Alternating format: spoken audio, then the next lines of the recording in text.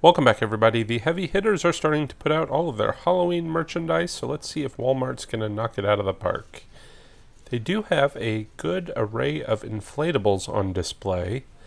Really like that inflatable tree. That ghost face is really creepy. But they have all sorts witches and cats and Disney. There's even Nightmare Before Christmas there in the end. Then we've got some more generic things like a little Reaper, a little pumpkin, little cutesy inflatables. But here we can take a look at the boxes. There are several more that they have available that aren't on display. That little bat's kind of cute. And they also have a wide vari variety of sizes. And of course then prices. So looks like, oh I love this one on the end, that little crawling pumpkin thing. So it looked like it was um, ranging from $14.99 to well basically 30 bucks 40 bucks. Then down here of course we have our inflatable dragon 100 bucks. This awesome nightmare before christmas sign. And then the tall inflatables down here at the bottom they've got a pretty good price on these 60 bucks. Different take on that sort of weird ghoulish woman. And then we've got a couple of decor items stuck in there. So let's go ahead and take a look, starting with this outdoor decor. The zombie pink flamingo. That's become a little overdone at this point, I think. Everyone's trying to cash in on that joke. We have a few um, tombstones. They come in like, this is a four pack here, and then we've got a little um, Reaper Man or Skeleton Man whose eyes light up. A groundbreaker, I guess. There's one of those pictures that will light up. I'm not going to press the button because we've seen that in several other videos. Their pumpkins are, I don't know why they're in plastic bags here. They're a little hard to see, but there they are. It's probably a bad thing. Give children their idea to put their heads in bags. but we've got some fog machines. There's some blood. That blood is very staining. It gets on everything and takes forever to dry do have some outdoor lawn stakes, some window clings, and the little leaf lawn bags. I still buy those on occasion. It reminds me of my childhood. I love those. The simpler times. Of course, the doorbell that everyone has as well. Decorative fence. You can get that cheaper at the Dollar Tree. Some more tombstones. Kind of undersized in my opinion. Not really worth it. Spiders. Can never go wrong with spiders. They've got a good variety of colors. Love this little mister. What was that? It looked like it was about $14, I think. Some creepy baby doll heads, and then we get into the skeleton areas again. Check out your dollar stores for these sort of things. There's no reason to pay more than a dollar for them. Got some slime for some reason hidden in there. And some more. I'm assuming they're going to be getting more of those light up pumpkins. I've always liked these little climbing ghouls. these are kind of neat. I actually made some glow in the dark ghosts last year out of Dollar Tree materials, but might just be cheaper to buy them here for four bucks than waste all the time and effort to make your own. I never like these little skeletons. Unless you're doing some sort of small display, it makes no sense to me. Door knocker. This one doesn't work, but I just happen to have one of those in my last thrift store haul you can check out. And some sort of hanging ghouls and clowns and so forth. These look to be about three feet tall. Again, too undersized for my taste. I do like these little welcome signs though. It looks like there's quite a variety of types pumpkins and skeletons and a witch. If you're looking for lighting, Walmart's got you covered. Lots of string lights in all different colors and types. They've even got some of these fire and ice bulbs. Those give a nice ethereal effect to a lot of your displays. And the whirl of motion, of course. I don't like these at all because I don't think they light up nearly bright enough. It has to be very dark for you to see those. garland lights and your novelty lights, pumpkins and skulls. Don't buy black lights here in the Halloween section. Go to the lighting section where you can get real black lights. The stuff that they sell here is garbage.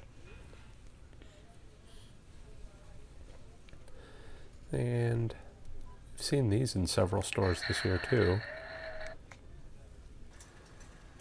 Gel clings, my usual disclaimer, be careful what you put those on because they will stain. Not sure what that is, just some decorative wall art I guess. Some wall bats you can put up and nice big tempting beware gel. Beware if you use it. Some signage, like that boo. Not exactly sure what these things are, just little decorative tchotchkes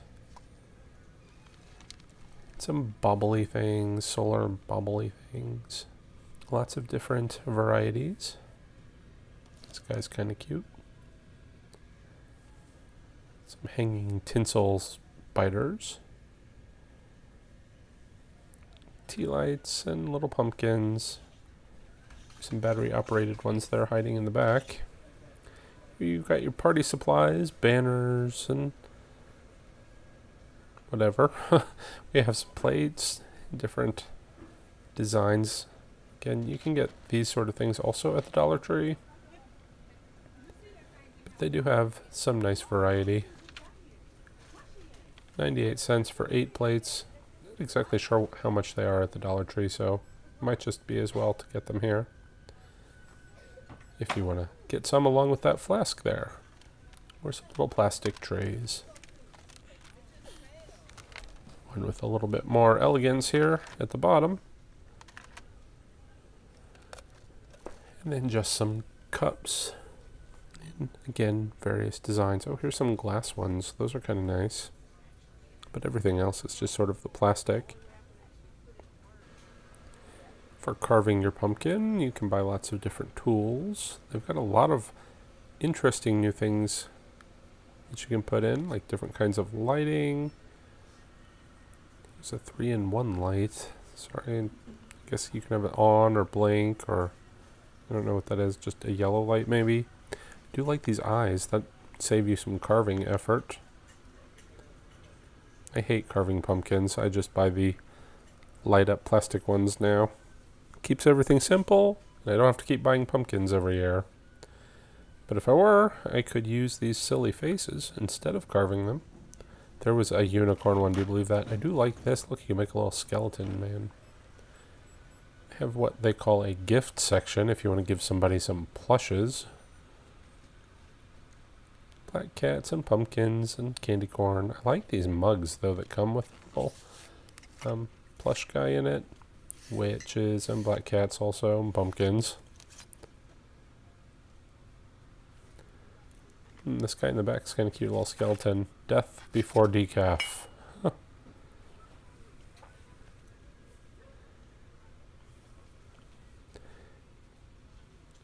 Ugh. I guess they'll just take a unicorn, throw some rib scale, you know, rib bones on it, and now it is Halloween. This is a horror section. Is that guy horror? I don't know. What about him? Frankenstein. Aha, here's Freddy Krueger. That must be who they're talking about. And of course, Harry Potter, I'm not sure how Halloween he is, but here's Disney too. You can get Mickey Mouse dressed up as a vampire. If you're having a party, you can buy your invitations here. Be sure to put your toilet cover on, though, for your guests. It's an interesting idea. It's kind of cute. Not something I would do, though. I would, however, buy this giant set of teeth to put my candy in that's kind of neat. You kids aren't going to want to reach in there. Some more plushes. I love the cemetery sign. It's metal.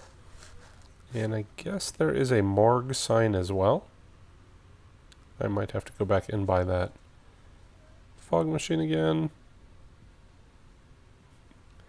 And there's some sort of rubber placemats and a skull and crossbones. Or there is a table runner and your soap to go along with your table settings. You can get spider webbing in glow in the dark or green or regular. Regular being white, I guess. And pumpkin or pumpkin trick-or-treat pails or bags that are reflective. I like that little...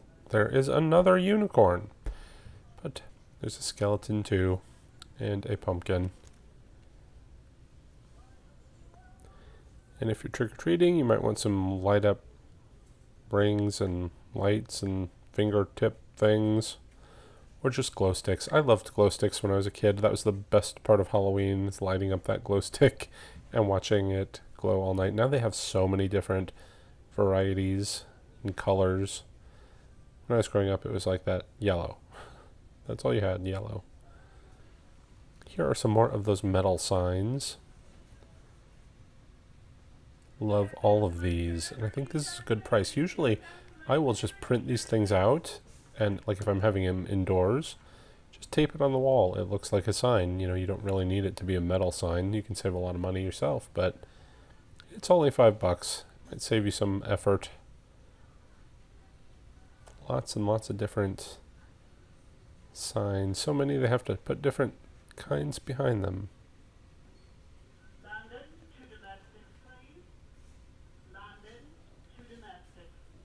Very vintage looking. That's kind of nice. It, that might be my favorite one, tucked in the back there. Haunted house ahead. You can also get some pillows. A lot of different... These actually are nice pillows for six bucks. I was kind of surprised. Then we move into some costumes. They have licensed kid costumes, and for Walmart that pretty much means Disney. You have Disney, and I think a couple maybe Marvel superheroes hiding in there. I'm not sure why the bald cap is there, but he's hiding some Mickey ears, I guess. We won't look at all of these. We'll just take a glance at the highlights that they're displaying, but again, there's a superhero one. Or you could be Woody, or Aladdin, or Ariel, or Superman, or Wonder Woman.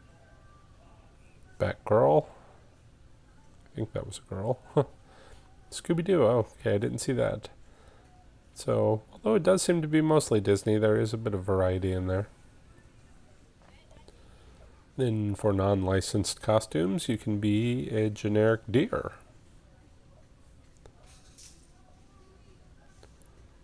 Or a vampire or some sort of candy girl. Or ice cream queen. That's kind of a stretch, but okay.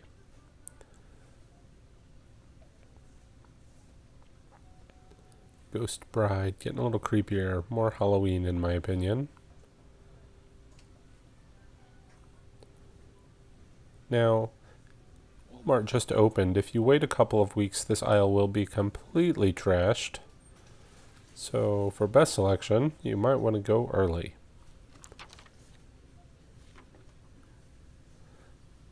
Oh, I love this zombie outfit. And even maybe that clown, you know, you can buy these little costumes to put on your skeletons. They're pretty good size for that. Or, you know, just make your own little creepy monster out of these costumes. A couple of adult costumes. Or maybe just like older teen, I'm not sure. Woman. Woman.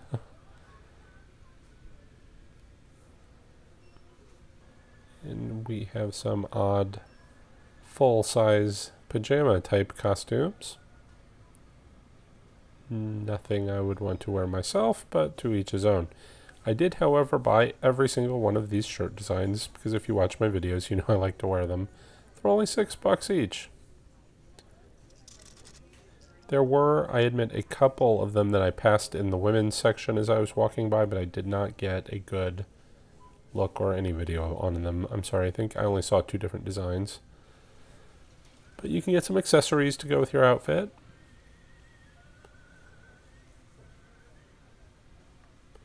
Or, you know, if you're an adult, I guess they expect you to build your own out of these accessories.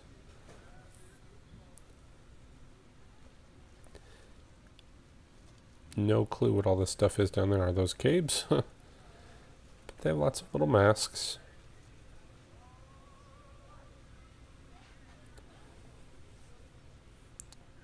Oh, I love this choker. That looks nice. Some hats, if you want to be a witch. Or you could be a bunny, or a bee, or a unicorn, of course. Some butterfly wings. Have wigs of all different types. Look, even a unicorn wig, which is a rainbow wig with a horn sticking out of the top. I guess there is no escaping that unicorns have invaded Halloween this year, much to my dismay. Hopefully some of these fun masks will redeem the store here. I like these light up masks. Those look kind of neat in the dark. It's kind of hard to see in the video though, but, but they do light up. These doll masks are really creepy in my opinion. Love those designs. Again, you could buy those to make static props in your Halloween display. Any of these would really be good, especially, oh, I love this mask. I might need that for my toxic area. We'll see. Here's sort of a Game and Throne, Game of Thrones inspired pet dragon. I'm surprised we don't see more Game of Thrones merchandise here. There was quite a bit in some other stores. There's your full unicorn mask if you wanted to do that. Now I'm skimming past the makeup. I don't know anything about it, but I'm sure there must be something in here where you can turn yourself into a unicorn. So keep an eye on that. But you know, you can buy lashes or hair stuff. That's pretty much it for the costumes though. They did have a harvest section for some general fall merchandise. Make sure that you take note. You can buy some uh, hay bales here if you are having a party, want places for people to sit. I do like to decorate with mums a lot in the fall. You know, you can get them cheaply here at the Walmart. The cards here are not a bad price either. These look like they're 98 cents each. You can get two for a dollar at the Dollar Tree, but there's something about these cards that do honestly seem just a little bit nicer. They have a whole lot of them, including a premiere section. This middle one with some jewels looks kind of fun. Or a pop-out wolf. You can also get your pumpkins here. They've just started putting them out. Best selection you can get here with intact stems. And your gourds and so forth if you like to decorate with those. Who doesn't? And lastly, there's candy galore. So that'll pretty much do it for Walmart. Make sure you stay tuned and subscribe if you want to see more store walkthroughs. I will check back in with Walmart if they get any other merchandise out, but I'm pretty sure that's that's it.